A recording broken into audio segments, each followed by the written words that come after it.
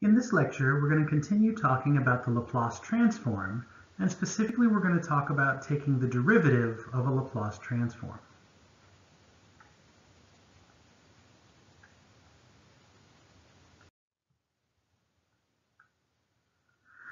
So let's think about taking the derivative of a Laplace transform. The first derivative with respect to s of big F of s, so that's the Laplace transform of f, is going to be equal to the derivative with respect to s of the integral from 0 to infinity of e to the negative st times f of t with respect to t.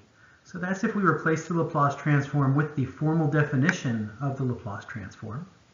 Now, integration and differentiation, the order in which those operations are conducted doesn't matter. We can flip those, and so this will be the integral from 0 to infinity of the first derivative with respect to s of e to the negative st times f of t with respect to t.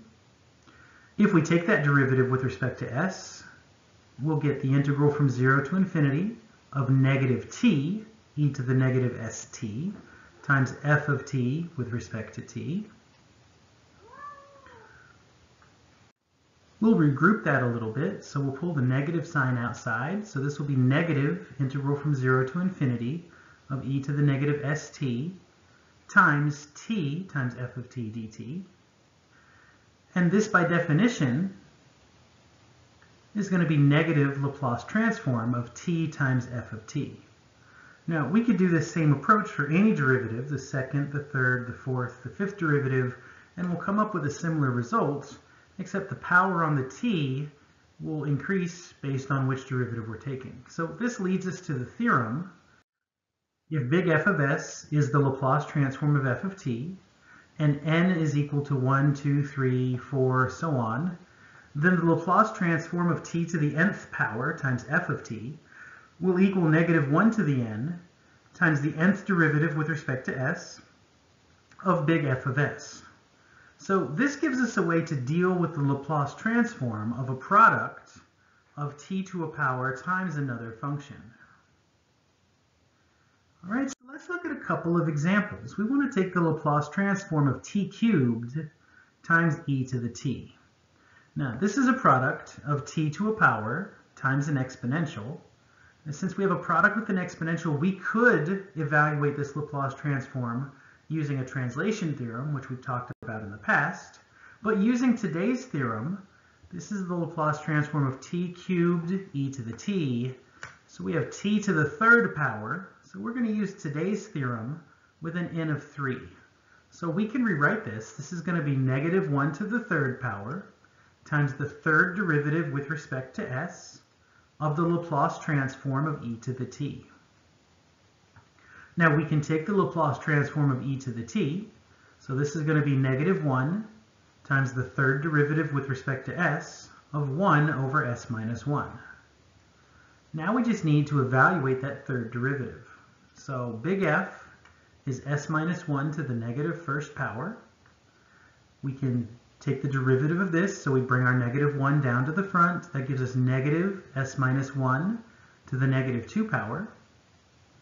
The second derivative will bring negative 2 down to the front, so that's positive 2 times s minus 1 to the negative 3 power. And for the third derivative, we'll bring the negative 3 down, so that'll give us negative 6 times s minus 1 to the negative 4 power. So we can take this third derivative and we can plug it into our formula. This will be negative 1 times negative 6 over s minus 1 to the fourth. And if we simplify that, those two negatives will become positive. So this will be 6 over s minus 1 to the fourth. And we get that same result if we had used that translation theorem. So this gives us a little bit of flexibility in the way that we solve a problem like this because we could solve it in multiple, multiple ways. All right, let's look at a second example. So this time we have the Laplace transform of t squared times the cosine of t. Now for this one, we don't have the option of using the translation theorem, so we have to use the theorem today dealing with the derivative of a transform. So we have t squared, our n value will be 2. So this is negative 1 squared times the second derivative with respect to s of the Laplace transform of the cosine of t. So negative 1 squared is a positive 1, so that'll just kind of go away. We have the second derivative with respect to s, and the Laplace transform of the cosine of t is s over s squared plus 1. So we want to take this second derivative. So we need to evaluate this second derivative. So our function, big F of s, is s over s squared plus 1. If we take the first derivative using the quotient rule, we'll get 1 minus s squared divided by s squared plus 1 quantity squared. And if we take the second derivative, again using the quotient rule, we'll get negative 2s times s squared plus 1 squared minus 1 minus s squared times 4s times s squared plus 1 all over s squared plus 1 to the fourth. Now we can simplify this. This becomes negative 2s times s squared plus 1 minus 1 minus s squared times 4s over s squared plus 1 cubed. So we canceled an s squared plus 1 out of all of the terms.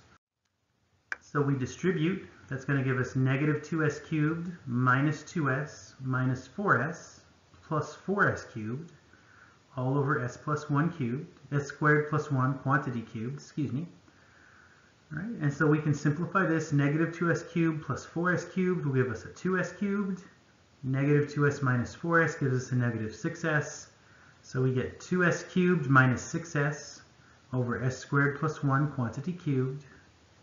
Now we could factor a 2s out of that numerator to get 2s times s squared minus 3 over s squared plus 1 cubed. And so that would be the Laplace transform we're looking for.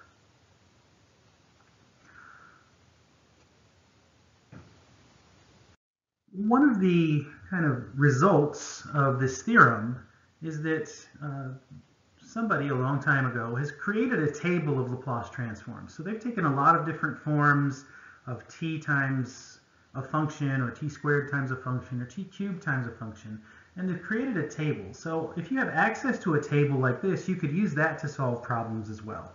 Uh, I teach my class from the uh, Zill book, and in our book, the table of Laplace transforms comes from the back cover. And so, you know, you can look at the back cover of the book or uh, appendix in the book, perhaps. Your book should have a table of Laplace transforms. And so you could use those uh, to evaluate problems such as this. So for our next example, we want to do y prime minus y equals t times e to the t times the sine of t with an initial condition y of 0 equals 0.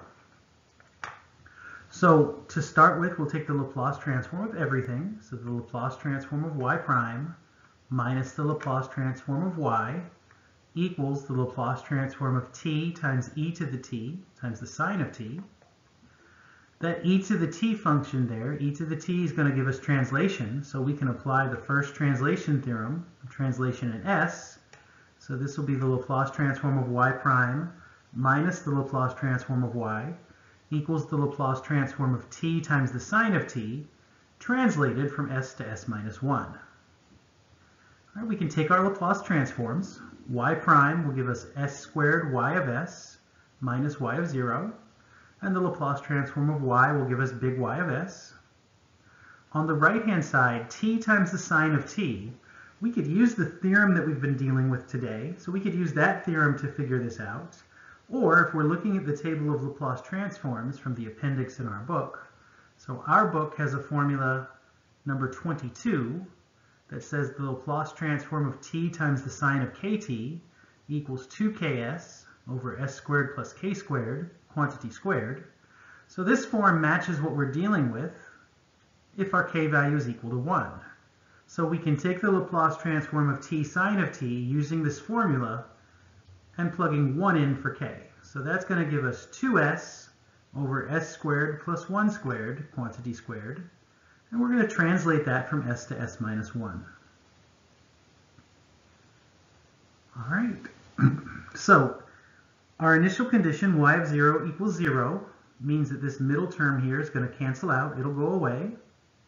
We can factor big Y of s out of the other two terms. So that's going to give us s minus 1 times big Y of s equals 2 times s minus 1 divided by s minus 1 squared plus 1 quantity squared.